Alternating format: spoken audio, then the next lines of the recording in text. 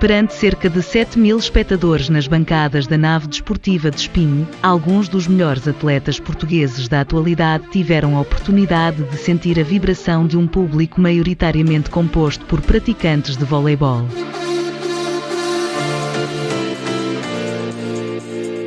Espinho hoje é um município mágico.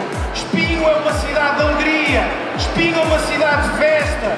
Espinho é a capital do voleibol, é a capital do desporto e é a capital da paz e da união, porque eu tenho a certeza absoluta que é com estes eventos, com estas grandes demonstrações, que todos juntos conseguimos construir um mundo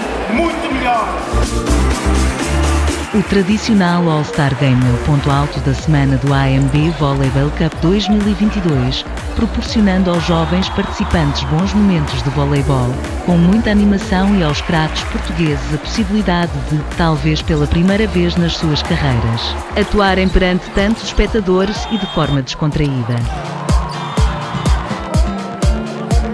Esta iniciativa contou com a participação da MTV Dance Academy do Sporting Clube de Espinho e da classe de ginástica rítmica da Associação Académica de Espinho, que proporcionaram animação de muita qualidade.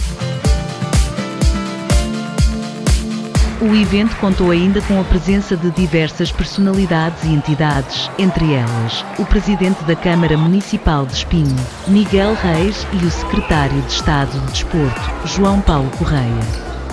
Com o apoio da Câmara Municipal de Espinho, do Turismo do Porto e Norte, do Instituto Português do Desporto e Juventude e do Governo de Portugal, o AMB Volleyball Cup voltou a afirmar-se como um dos maiores torneios desportivos do mundo.